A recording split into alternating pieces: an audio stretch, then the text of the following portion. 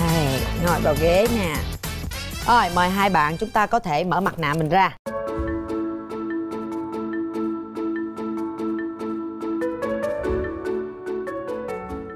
Rồi, đẹp rồi nha. Trai chưa? Có gì chỉnh sửa không? Rồi, quá đẹp rồi. Chào hai bạn. Bây giờ thì mình sẽ bắt đầu giới thiệu à, cho đối phương nghe về à, những thông tin cá nhân của mình Nói lớn và nói rõ lên nha. Mời bạn trai Mình tên là Thái Phong, hiện ờ, đang sinh sống và làm việc ở Biên Hòa, nhà thì ở quận Bình Tân. Công việc của mình là làm bên nhân viên bảo trì phụ tùng ô tô của hãng Honda ở Là- Biên Hòa. Mà mỗi ngày em phải chạy từ Sài Gòn về Biên Không, Hòa làm em ở Trển thì ở trọ ở Một- đi làm thì chủ nhật về mới về Sài Gòn. À, năm nay bao nhiêu tuổi? 33 tuổi chị. 33 tuổi Cha, nhìn mặt trẻ măng à, chị tưởng em cỡ hơn 29 tuổi thôi đó Thiệt Rồi mời em gái giới thiệu Dạ em chào chị Cát Tường, em chào anh. Em tên Lê Thị Kim Chi, năm nay em 31 tuổi. 31 tuổi, trời ơi, cũng sao bữa nay toàn những người trẻ không vậy? Em là cũng tầm 28 tuổi thôi. Quê em ở An Giang á chị. An Giang, nay chị đang làm gì? Dạ em ờ, bán ờ, vé máy bay ở quận 6 á chị. Mình ở quận 6 luôn hay là sao? Dạ em thuê nhà em ở đó, em ở phòng vé ở, ở đó luôn À, ở trong chỗ mình làm luôn, mình Dạ. làm ở ngay đó luôn Dạ đúng Em rồi ở chị. với ai? Dạ em ở với em gái À, có nghĩa là cái bán vé này là vậy là mình làm riêng cho mình phải không? Làm Dạ cho đúng nhân rồi đúng chị không? Dạ Buôn bán được không em? Để chị hay đi diễn lắm, có gì cho số, có gì mua vé gì chị ủng hộ cho Dạ cũng được chị Rồi vậy là cũng tốt rồi, tự lực ừ, cánh sinh là tốt rồi ha Dạ. Công việc hai bạn ổn định Bình Tân với quận 6 cũng gần nhau mà phải không? Dạ đúng rồi, sát bên Rồi chị. sát bên quá thuận lợi luôn Điểm mạnh điểm yếu của em là gì? Dạ điểm mạnh của em á là em biết ờ, nấu ăn nè, siêng năng chăm chỉ, hòa đồng hoạt bát rồi vậy đó chị Trời ơi một tràng luôn ha nấu Trời cái gì vậy? Từ từ từ từ đừng làm tôi rung nha Rồi điểm yếu của em là gì? Điểm yếu của em là nhiều khi em hay à, nóng tính vội vàng đồ á chị chứ hay hay quên á. Mà ăn mà quên trong công việc là hơi mệt à Người ta đặt vé mà quên bút quên lên máy rồi cái dạ cái đó không có chị. Không có.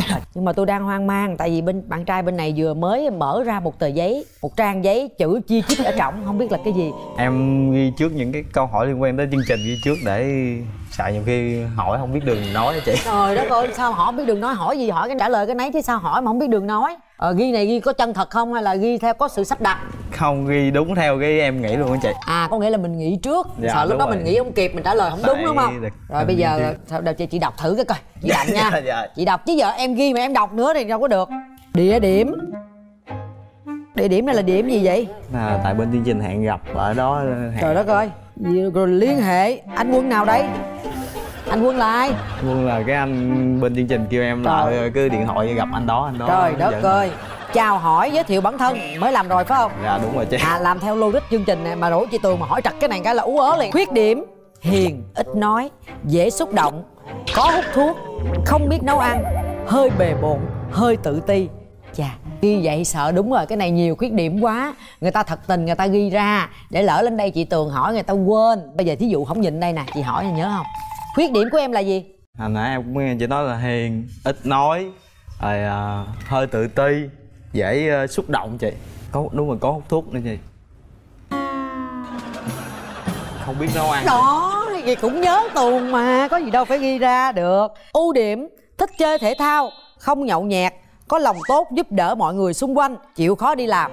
Ghi rất rõ luôn nha em. Rồi lỡ rồi quớt luôn qua tới tình trường. Tình trường trình trình tự giống như là viết văn vậy đó có từng dạch từng từng đầu dòng đầu dòng đàng hoàng chưa trải qua mối tình chính thức nào cũng như chưa có tỏ tình với ai có tia một vài người nhưng không thành ủa em em tia là sao em tia là sao tia là tức là mình cũng có để cái người bạn người đối đối, đối tượng đó chị rồi à, mình cũng theo à, ghẹo chọc nhưng mà không được À vậy gọi là tia đó hả? Dạ. Mà trong này em ghi là em là là chưa từng trải qua một mối tình chính thức nào. À, đúng rồi chị 33 tuổi, mặt mày sáng sủa đẹp trai, công việc cũng ổn định. tại vì à, cái cấp trước mà trước năm 30 ấy chị tầm mà tới hai em đi học tới năm 26 27 tuổi rồi mới bắt đầu à, đi làm đó học liên thông lên đại học nên không có chưa nghĩ tới việc chuyện mà gọi là cưới vợ sinh con nên Ừ. không có theo tán cũng có tia tia cũng có đi chơi vậy thôi bắt đầu khoảng một hai năm nay tầm 30 tuổi 30 tuổi khoảng năm em nghĩ tới chuyện vợ con nên mới à, đăng ký tham gia chương trình Thì ba năm nay cũng chưa tia được ai mà dính hả? đúng rồi chị Lý do tại sao? Em nghĩ một phần là Hay tại em tia nhiều quá? do em tự ti một phần Em tự do- ti cái gì? chẳng hạn như ví dụ em thích người đàn bạn nữ đó đi em theo rồi chọc này nọ kia xem như bạn bè trước. Thì vô tình thường thì em thấy là khi mà em thích thích tti cái là thời gian cái là coi phải có người con trai khác theo. Người con trai khác theo mà anh nhìn thấy người con trai khác theo mà gọi là soi về điều kiện này nọ công việc á người ta hơn hẳn mình đi thì mình nghĩ thôi mình thôi để cho cái người con trai đó tấn công của cô gái đó.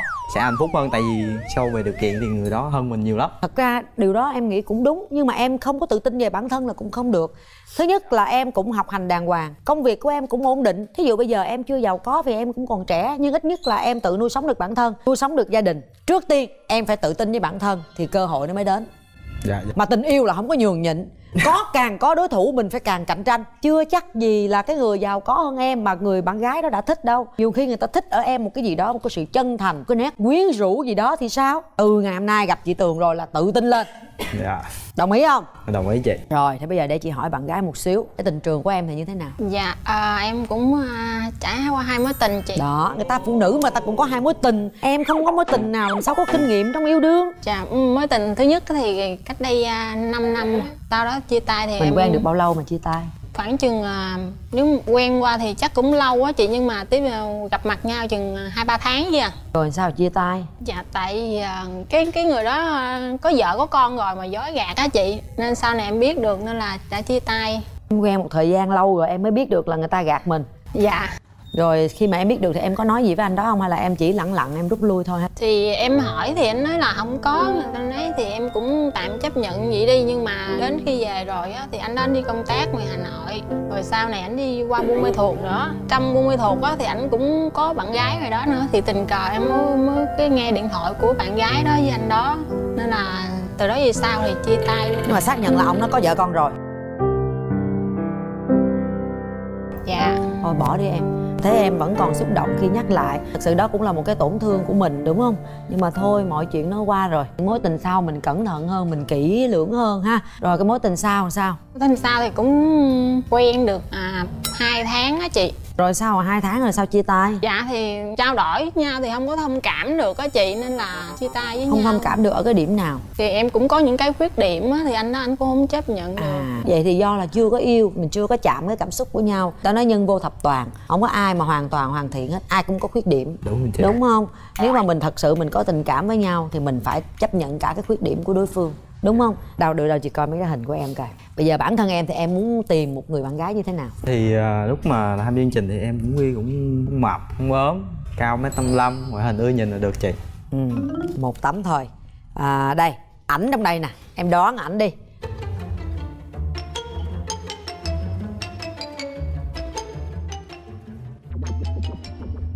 Còn em gái em mong muốn tìm một người bạn trai như thế nào? Dạ cũng à, cũng cao cao em là cũng khoảng chừng mét sáu lăm trở lên. Rồi tóc tai thì gọn gàng. Tóc tai gọn gàng mét sáu trở lên hợp chuẩn luôn. Còn gì nữa không? Mắt mũi miệng. Mắt thì hầu đừng có lé đừng có hô là được chị. Không lé không hô. Tao nói bên đây sáng sủa lắm sáng tài lắm. Rồi ráng lựa đi lựa ảnh nó chỏng đi. Cái này mình có phải gợi ý hay gì chị đâu ừ bây giờ cho, người cho sau cái mà gợi ý được. cho tám người phụ nữ anh tìm hơi khó à Em cao khoảng chừng mét sáu lăm. Mét sáu Nặng khoảng chừng à, 50 kg 50 kg ráng Mặt- đi cưng mình bật chế độ kính lúp lên. Đâu em đoán ai? Em chỉ chị coi Chắc áo đỏ mà chị linh cảm áo đỏ phải không? Dạ đúng rồi chị. Đâu được tôi coi áo đỏ. 55 50 rồi cầm nó đi để từ từ tôi mở cửa ra coi đúng không? Bên đây. Anh nào? Ừm, gợi ý là nhìn anh ấy cười hoặc là nhỏ nhỏ con xí Này. Chị ba ông hai ông ăn có một ông cười bảo ông gợi ý cười còn cái gì nữa? Được rồi bây giờ nè nhìn kỹ nha cô áo đỏ có đúng không nha? Mở cửa trái tim.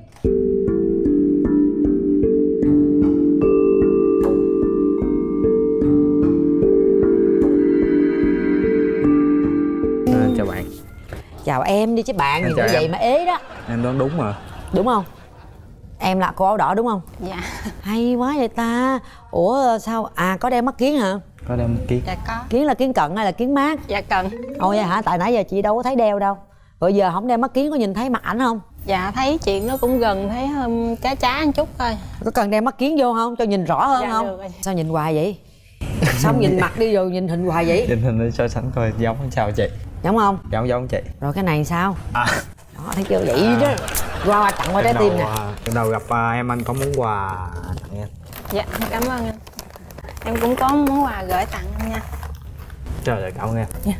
Dễ thương quá ha. Đầu để tôi coi coi. Sau chương trình xin số điện thoại xin zalo xin facebook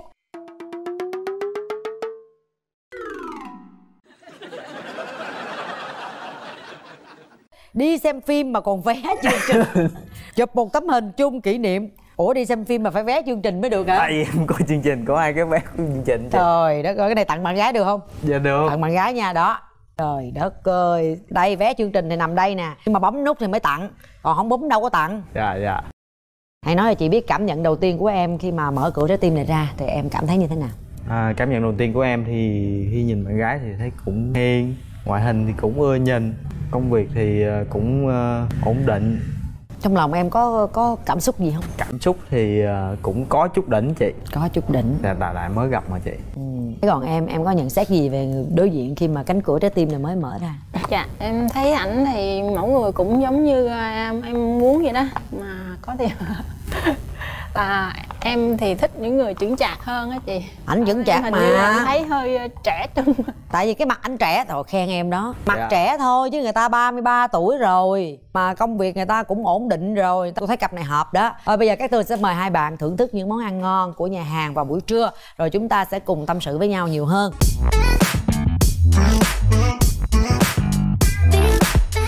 Xin mời hai bạn thưởng thức à, món ăn rất là ngon của nhà hàng Dở Hỏ phú trưa nay nha. Há cảo nè, hoành thánh tôm chiên giòn Sườn non hấp tàu xì Bánh nướng xá xíu phô mai đúc lò Bánh bao kim sa, minion.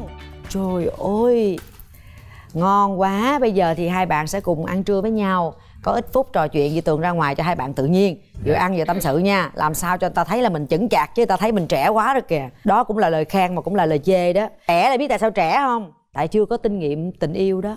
Bây giờ em phải chứng minh cho bạn gái biết là Em vẫn biết yêu. Tự tin lên nha. Bữa nay không có nhường nhịn gì hết trơn nha. Mấy ông quay phim nãy giờ đang địa bạn gái em đó. Không có được nhường nhịn gì hết nha. Em tia thẳng vô cho chị. Được không? dạ. Rồi, chúc hai bạn ăn trưa ngon miệng. À mời em ạ. Dạ Ủa em làm việc mà bán vé máy bay vậy là đó là mình mở bán hay là dạ em làm riêng cho mình á anh làm tự mình làm luôn dạ hả? hồi trước em đi làm cho người ta rồi sau này em nghĩ em ra em tự mở riêng á Rồi em gia đình thì có anh chị em đâu không hay là sao? anh chị em của em thì chắc uh, đông á nhưng mà có ờ, ba chị em gái à Đông ba chị em gái Rồi em có gì hỏi anh không? anh nghe nãy anh nói anh không biết nấu ăn nhưng mà em thì biết rồi đó nhưng mà sau này chẳng chẳng hạn như em như nấu ăn á thì anh có phụ em được gì không hay là? À, phụ thì anh vẫn phụ được. Khi mà về chung một nhà hay gì đó Thì có nhờ thì mình sẽ phụ. Nhờ bố phụ hả?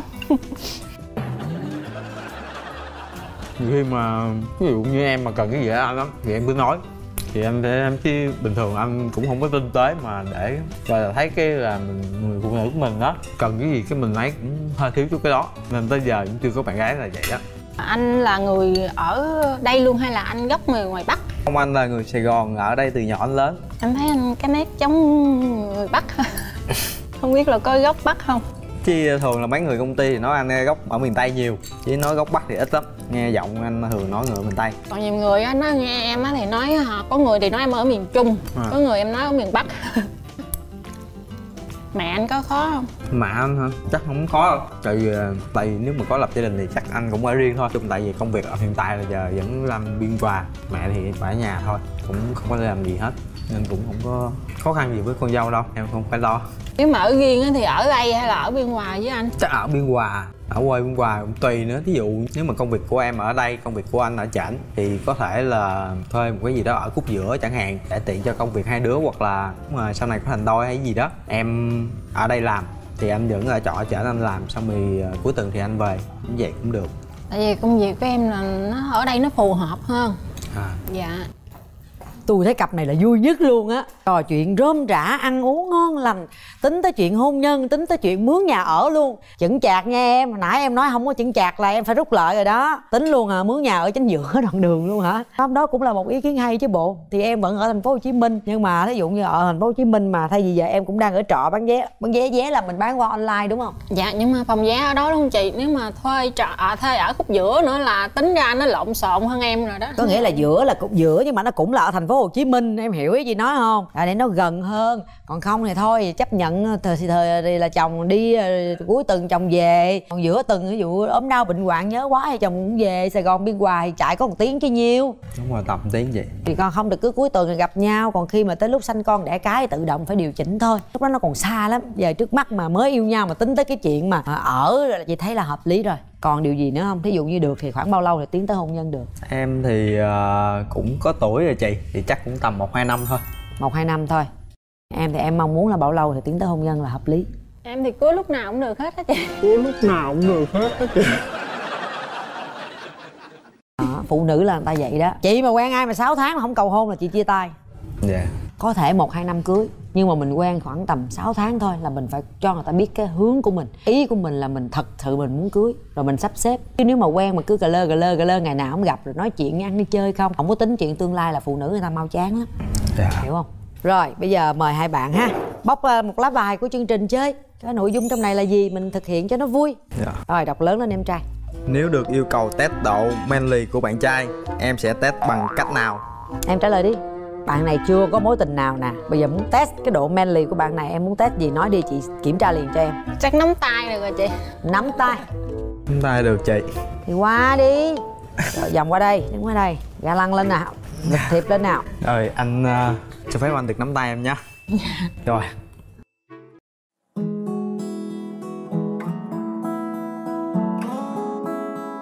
Dạ được chứ chị?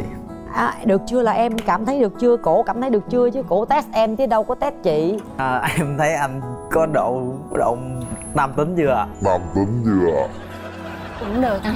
Có hơi ấm gì truyền qua có luồng điện nào Thấy nó tay của em ấy hơi lạnh. Phải hơi lạnh? Lạnh thật. Rồi về chỗ đi cảm nhận của em như thế nào sau khi nắm tay ảnh? Anh thấy tay em hơi lạnh. Thế anh em thấy tay ảnh như thế nào? Đưa vô thì nó ấm hả chị? Ấm.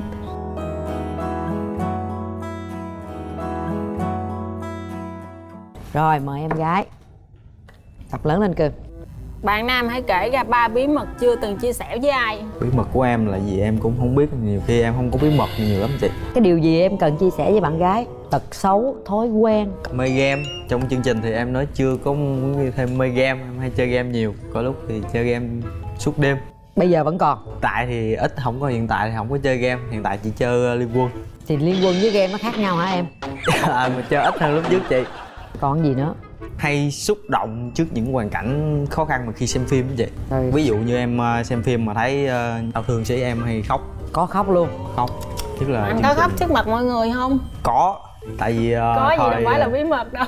thì khóc nhưng mà người ta hỏi mình đâu có nói là mình khóc đâu. Mình chỉ nói là bụi bay vào mắt hay gì đó, thôi. đó người ta cũng bí mật mà thấy không? Người ta lãng lãng lãng rồi người ta giấu giấu phải không một cái nữa là chắc cái này cũng không biết. Hồi xưa em làm ở ờ, Dĩ An Bình Dương. Em với một bé kia là nó hơi ờm, cũng làm chung công ty chị. Thì em hay giỡn là nó nó tính nghịch ngợm á chị. Mỗi lần em nói không nghe cái em mới hay hù nói không nghe là anh hôn em đó. Thì mấy lần đầu thì nói vậy thì em nói sợ. Sợ thì phải nghe tức là làm theo em tại chung làm chung công việc á.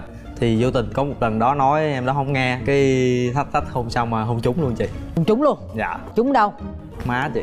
Một lần nó hôn trúng luôn đó hả? Là bí Dạ. mật luôn á hả? Thì cái đó thì em nghĩ thì đâu có ai biết đâu chị. Đâu có kể với ai đâu. Được không em? Ba bí mật đó em thấy được không? Tôi Dạ. thật thà quá ha. Vậy là có hung được lần rồi. Rồi giờ còn liên lạc với cô bé đó nữa không? Hiện tại giờ em đó cũng lấy chồng rồi. Mới đi đám cưới khoảng mấy tháng. À, là vẫn có chơi chung vẫn có đi đám cưới. Dạ. dễ thương. Rất là thật thà đồng ý. Bây giờ à, chị tường dành cho hai bạn thêm một cơ hội nữa ha. Hai bạn hãy nhìn thẳng vào nhau Ờ, à, 30 giây dành cho hai bạn. Hãy nói cái điều gì mình muốn nói nhất ngay bây giờ. À không nói cũng có thể hát tặng nhau đọc thơ cho nhau nghe. 30 giây chúng ta sẽ quyết định có bấm nút hẹn hò với nhau hay không. Anh với em á đến đây cũng là một cái duyên rồi. Anh nghĩ là tụi mình nên cho nhau một cơ hội để mà tìm hiểu nhau về kỹ hơn. Tại vì trên chương trình thì thời gian nó cũng có hạn thôi. Mình cũng không có hiểu gì nhau nhiều. Thì biết đâu cho được thì sau cái bấm nút hôm nay thì mình có thể ờ, là đi xa hơn nữa và tính một tới một cái hôn nhân tốt đẹp sau này chẳng hạn em có đồng ý với cách nghĩ của anh hay không? Dạ em cũng nghĩ vậy đó thì em cũng muốn mình ờ, cho thử nhau cơ hội để ờ, tìm hiểu nhau hơn chút. Rồi. Mời hai bạn đặt tay vào nút bấm. Đây là bấm nút hẹn hò các bạn nhé. Rồi đặt tay vào nút bấm sau 3 tiếng đếm của chị tường hai bạn bấm mạnh. Nếu đồng ý còn không đồng ý chúng ta lấy tay ra. Rồi nhắm mắt lại đi hai bạn. Một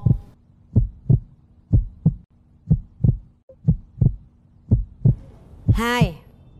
Ba.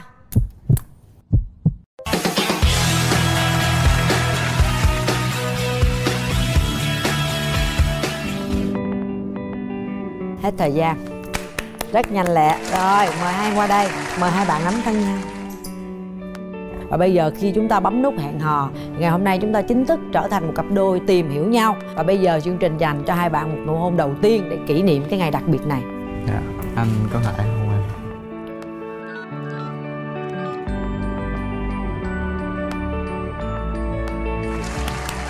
rất là dễ thương. Em tên là Trần Thị Lệ Hồng Em sinh ngày 28 tháng 10 ờ, 1995 Hiện tại em đang là kinh doanh tự do Rồi, chị Hồng Đào quận 7 Dạ em đang ở quận 7 Kinh doanh tự do là kinh doanh mặt hàng gì?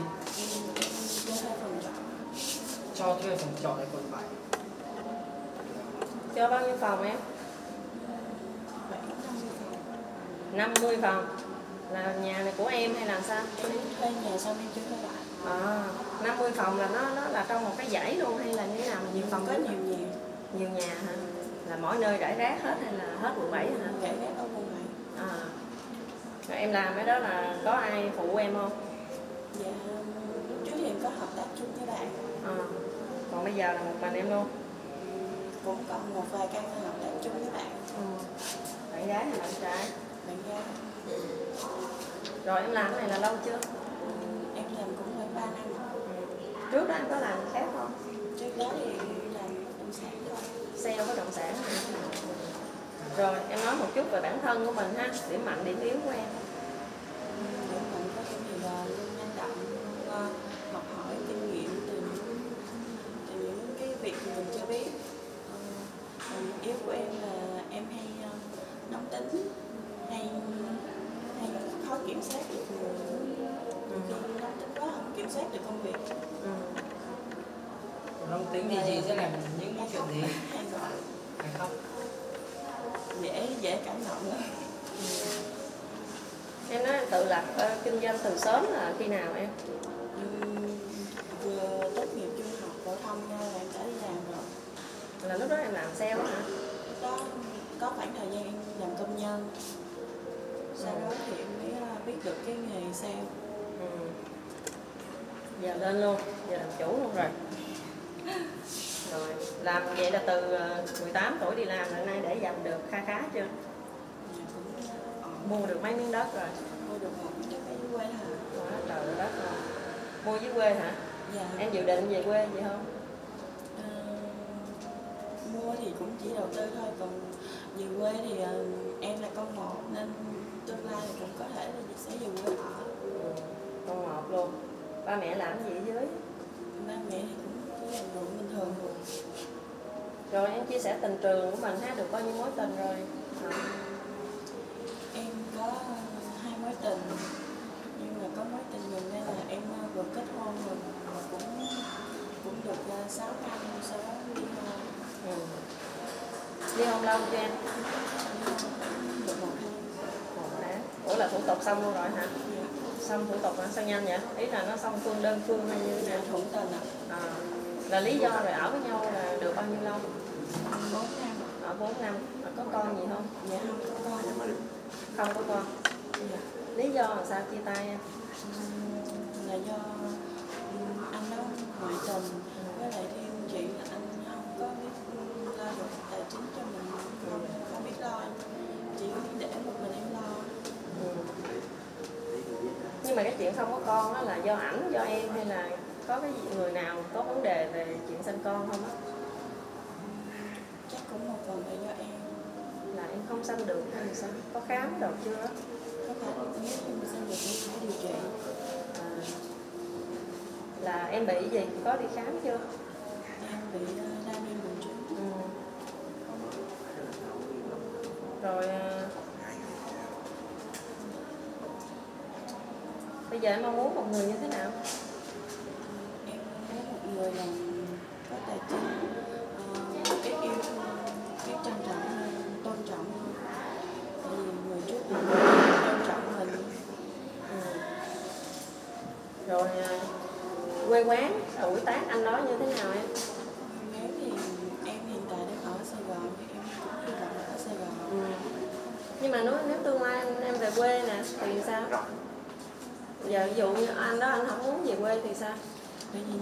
Lập nghiệp được thì mình sẽ ở đấy thôi.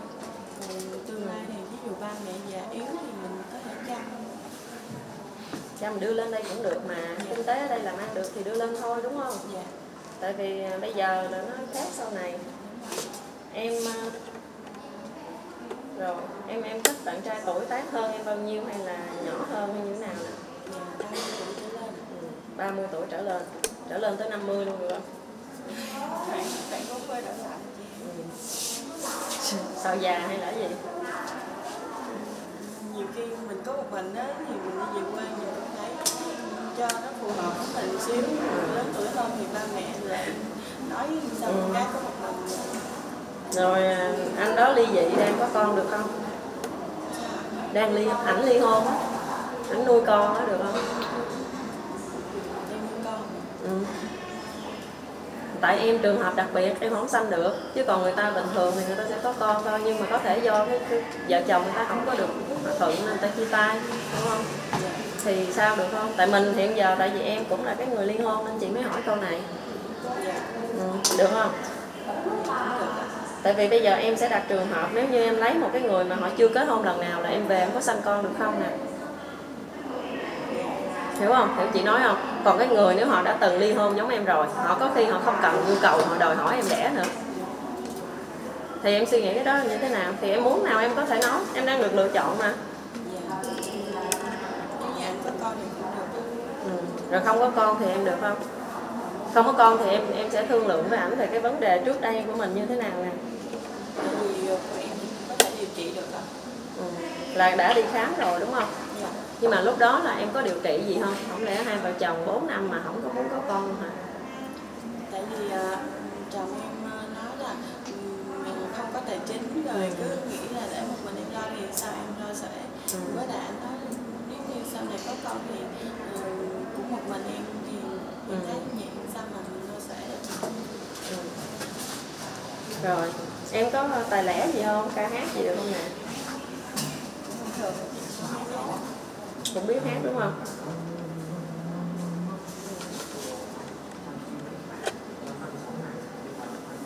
Rồi em đăng ký chương trình là do em tự đăng ký hay có ai? Dạ em chọn em ký. Lý do làm sao em muốn đăng ký chương trình?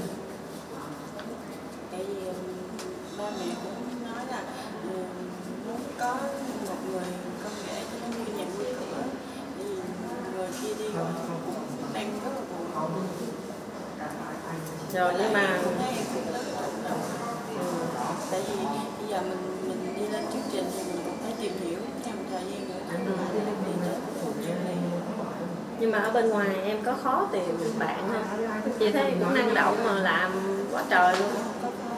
Ờ vậy tại sao những người bên ngoài thấy không được hay sao em? Tại vì thì đó.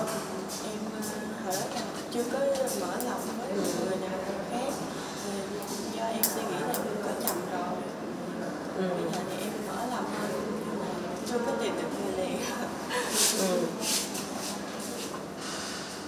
nhưng mà cái lúc em kết hôn á là anh đó anh có kinh tế độ tốt không Ờ, lúc đầu thì em không biết nhưng mà sau đó về thì em biết là anh nợ À. anh nợ nhiều mà sau đó trong thời gian sống chung thì anh cũng không có ý chí để có nghĩa anh cũng có đi làm được ừ. nếu như cái số nợ đó vẫn cứ duy trì mà không hết không hết nhưng mà cũng ở với nhau 4 năm luôn ha đúng không? Là là cũng có khoảng thời gian hạnh phúc ban đầu gì không được bao lâu? Được một tháng một năm hay là bao nhiêu? Về khoảng một năm thì em đã có người khác ừ. em cũng cố gắng tha thứ nhưng mà em cứ luôn nhớ tới rồi thì nó cứ như vậy vậy ảnh làm cái gì em? Cũng xem bất động sản à. rồi em chịu theo chồng gì không? Hay là em chỉ muốn ở sài gòn thôi? Tại hiện tại em đang làm việc ở đây Ừ. có không thích người miền nào không? Dạ Ừ. ba mẹ có kém gì không đó? Ba mẹ nói hy vọng là người người miền Nam mình À. tốt thôi. Rồi. Ok. Em rồi được rồi nếu được chọn thì chương trình liên lạc lại với mình ha rồi hướng dẫn thêm cho em nha. Dạ. Rồi xong rồi cảm ơn em.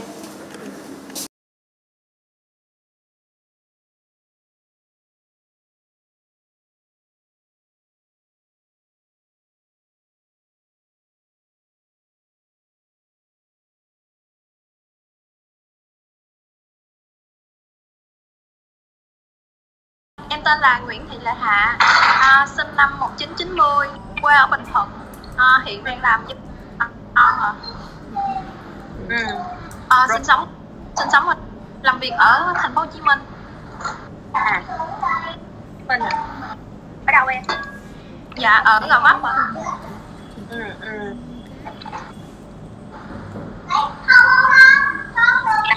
Là mình sống với ai em ơi Dạ hiện tại thì em đang ở trọ với à, em trai. Đang bên dậy mình sao em Dạ em dạy ở Gò Vấp, trường mầm non Tâm Toàn Cầu. ừ. Giới thiệu về điểm mạnh, điểm yếu của mình ha Điểm mạnh là những cái điểm mạnh của mình Hát, hò, nhảy, múa, nấu ăn Cái gì mà ghét gì đó em em thì à, hát được à, thích nấu ăn ừ. Hát được hả? Hát cho chị vài câu nha dạ hiện tại thì đang đang em đang bị ho đang đau họng á chị. Một vài câu Chị không có kêu hát nhiều. Chị kêu cái em em quên mất không biết hát về gì nữa. Hát được. Được Rồi còn điểm mạnh gì nữa không? dạ nấu ăn. Rồi, không nè. Dạ chắc là hết rồi. Thấy là hay lắm đúng không? Có thể làm mấy cái ừ, đồ mà handmade này kia để cho các bé chơi đúng không? À dạ cái đó thì em có thể làm được nhưng mà không có khéo tay lắm hả? Ừ. có thể làm được là hay rồi. Rồi điểm yếu của mình là gì? À, điểm yếu của em là hơi bị tự ti á chị. Ừ. em ờ, đã từng ly hôn. Ừ. ly hôn rồi à? Dạ. Rồi mình có cháu nào không em? Dạ dạ không chị. Ừ. em có đây uh, 6 năm. Ừ ly hôn cách đây 6 năm. Vậy là em em lấy chồng năm bao nhiêu tuổi? Dạ năm em 25 tuổi ừ.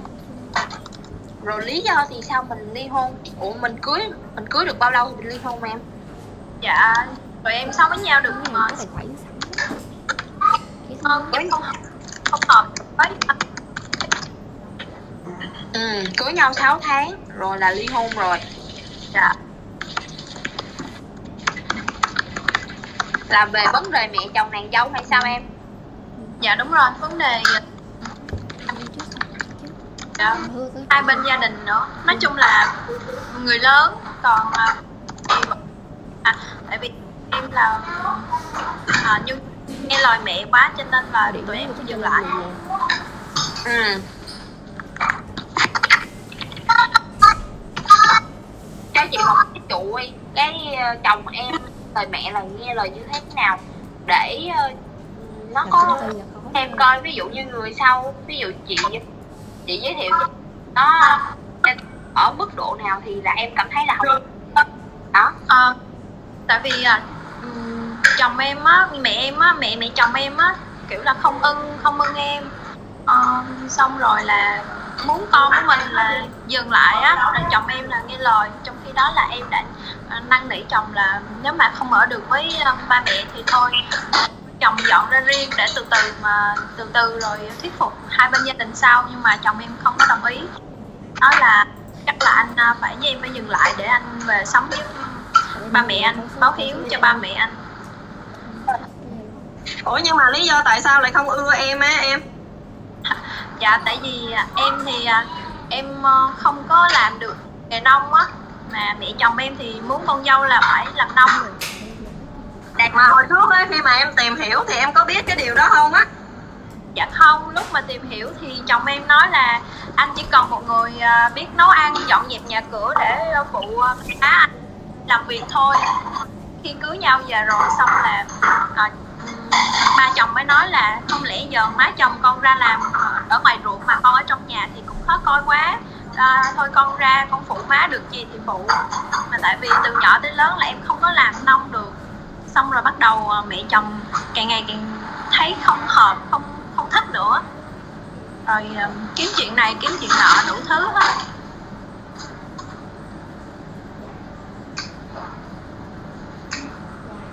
Rồi, vậy là sau 6 tháng là chia tay luôn. Ừ. dạ.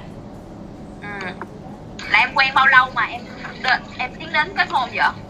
Dạ chắc tầm năm sáu tháng á chị. Trời ơi. Ok.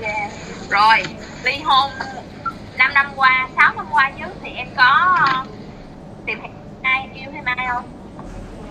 Dạ cũng có một người xong rồi người ta kiểu người ta cũng thấy em ờ, ly hôn rồi á người ta cũng không không có thích lắm. Gia đình người ta cũng dạng khó khó khăn á. Là không muốn ờ, con trai ta lấy gái đã có chồng rồi, nên là thôi, tụi em cũng thôi luôn. Là giờ em không quen ai hết. Lâu. Em quen người sau á, được bao lâu? À quen được 2 năm. Lúc lúc đó là em mới lên Sài Gòn á, là em quen bạn đó năm mà mà do như vậy thôi rồi em dừng đó dừng dạ tại vì cái lúc đó là người ta nói là à, gia đình anh á thì hồi trước tới giờ là không có ai là như vậy hết. À, bây giờ anh mà cưới em á thì à, em đã đám cưới một lần rồi không biết là gia đình em có tổ chức đám cưới cho em hay không. Rồi nói những cái câu mà làm cho mình bị ờ, bị tự ti á chị. Xong rồi là nên thôi em dừng lại. Và bạn đó cũng có người khác. Chắc là bạn đó có người khác nên bạn đó kiếm chuyện.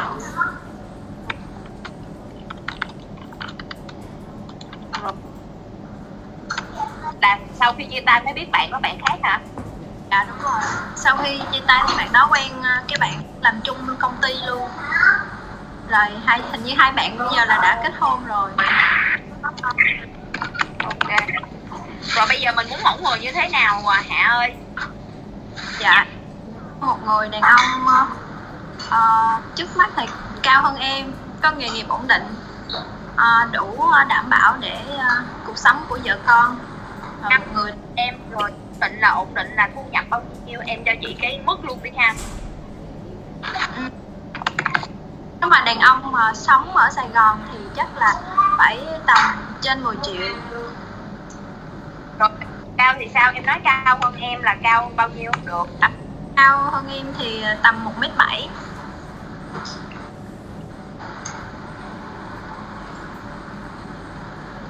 em đâu biết dạ em cao 1 mét 6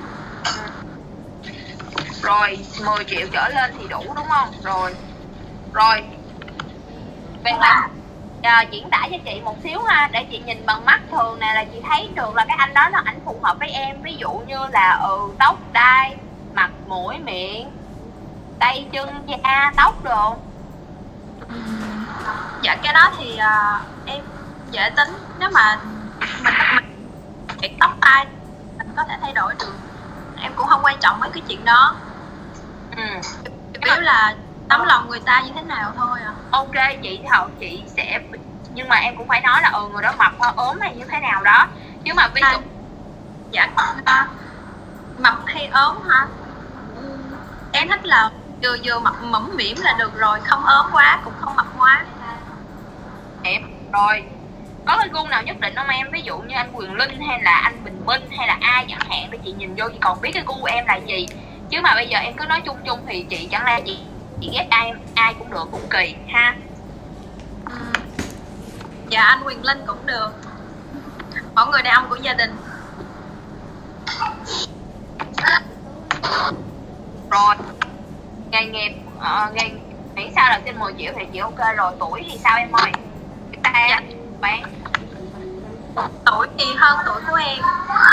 Hơn, hơn từ từ 2 tuổi là được rồi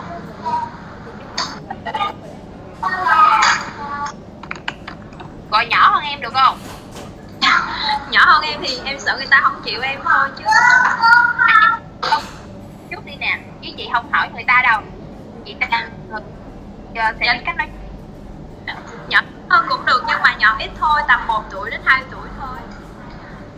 Tại vì ờ, phụ nữ mình ờ, sau này sẽ già hơn đàn ông nhiều lắm. Là cái anh đó anh cũng ly dị như em vậy. Em con thì em ok không? Ờ, ly hôn rồi đã có con rồi hả chị? Ừ. Nếu như nếu với điều kiện là anh đó ảnh ờ, ảnh tốt chứ không phải là ờ, em sợ là những người ờ, ly hôn rồi á là có vấn đề giống như kiểu chồng của em nên em không có niềm tin nhiều với đoạn ly hôn là ly hôn do không hợp nhau chứ không phải là gì ly hôn về vấn đề là nghe lời mẹ giống như chồng em đúng không? À đúng rồi